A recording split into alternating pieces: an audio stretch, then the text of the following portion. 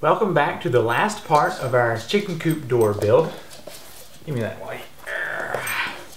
So in this part, we're just going to be plugging this up and testing it to see if it's going to work as we want it to. So I've just got my power supplies that I told you about.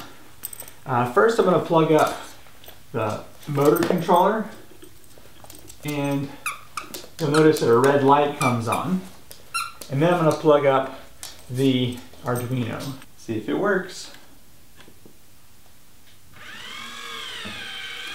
There's our code that says pull the door up to the top as soon as this thing starts. Okay. Now we'll see if the sensor thinks it's dark. Yep. Thinks it's dark in here. Looks like one second is not quite enough to get the uh, locking totally in place. Let's shine some light on here and uh, make it think that it's daytime.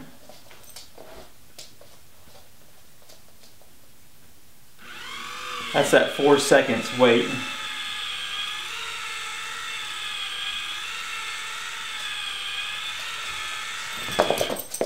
Okay. Looks like everything's in order.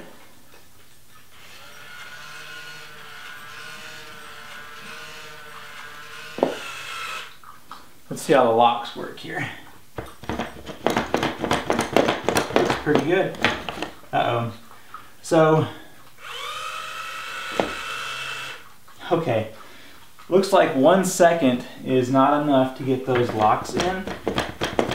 And therefore, um, I was able to pop it loose. So let's go in the code and make it two seconds instead of one second.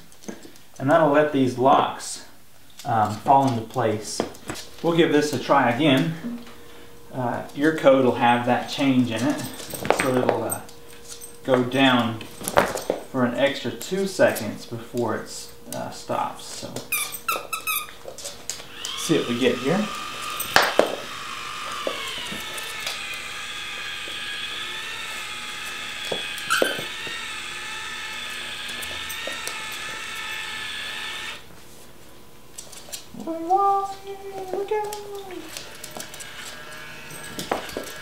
Alright, see what we get here.